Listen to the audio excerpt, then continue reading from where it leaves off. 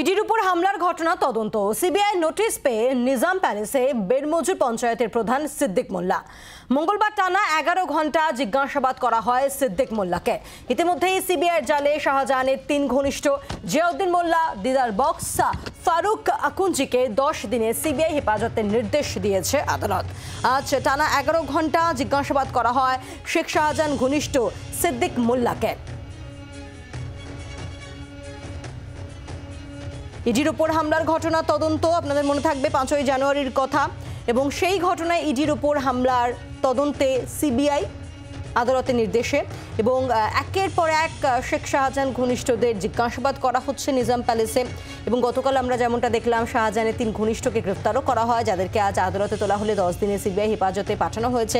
এবং এরই মধ্যে আজ আরও একজনকে ডাকা হয়েছিল নিজাম প্যালেসে। তিনি বেরমজি পঞ্চায়েতের প্রধান সিদ্দিক মোল্লা প্রায় সকাল থেকে রাত অবধি এগারো ঘণ্টা টানা জিজ্ঞাসাবাদের মুখে পড়তে হয় তাকে। বেরিয়ে আসার সময় সিদ্দিক মোল্লা, তিনি নিজাম প্যালেসের বাইরে এসে ঠিক কি বলেন শুনব। আইন আইনের পথে চলবে। আমার যেটা সহযোগিতা করার দরকার আমি সহযোগিতা করেছি। আবারও ভবিষ্যতে আমাকে যদি ডাকে আমি এসে সহযোগিতা করব। জানেন ও বিষয়ে আমার জানা নেই। কি হয়েছিল সে যা হয়েছিল সেটা আমি ওখানে বলে দিয়েছি। আবারও যদি কোনোদিন ডাকে বলব এসে।